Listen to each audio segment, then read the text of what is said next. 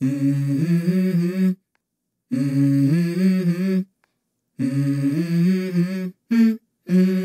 go.